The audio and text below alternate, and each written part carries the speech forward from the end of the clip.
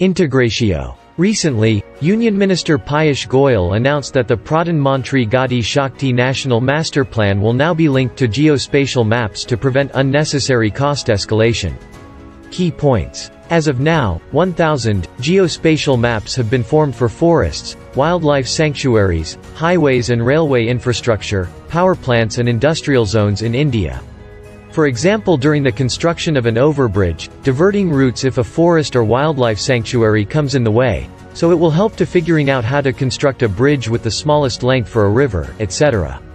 About Gati Shakti Platform. Gati Shakti Platform was launched to provide information instantaneously. It will allow for better coordination among ministries. Gati Shakti scheme was launched with the aim of achieving, three, basic goals namely, Seamless multimodal connectivity for facilitating easy movement of goods and people.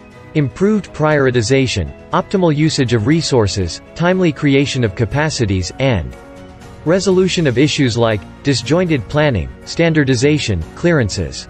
Aim of the master plan. This master plan will provide a framework for National Infrastructure Pipeline Program. The plan also aims to make Indian products more competitive by cutting down their logistics costs and improving supply chains. It also aims to give a foundation for holistic infrastructure and an integrated pathway for the economy. It will help the local manufacturers of India in turning globally competitive. Apart from that, this scheme of worth, over 100 lakh crore rupees, will create employment opportunities for the youth.